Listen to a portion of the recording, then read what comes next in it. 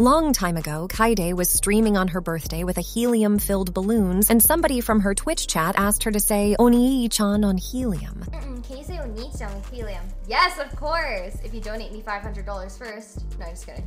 Um, that's just super weird. Uh, thank you, Star Sweet, for the sub.